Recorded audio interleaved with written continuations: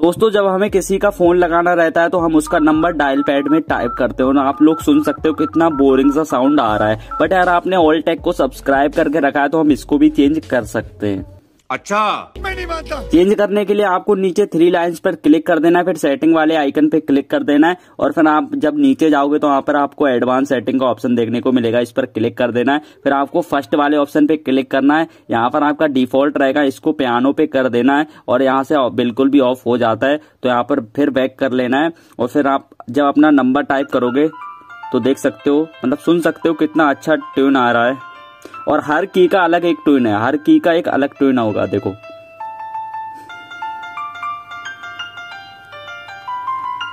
और ये कितना ज़्यादा इंटरेस्टिंग लग रहा है, और एक चीज़ और बहुत ज़्यादा इंटरेस्टिंग लग सकती है, वो है नीचे ऑलटेक का सब्सक्राइब बटन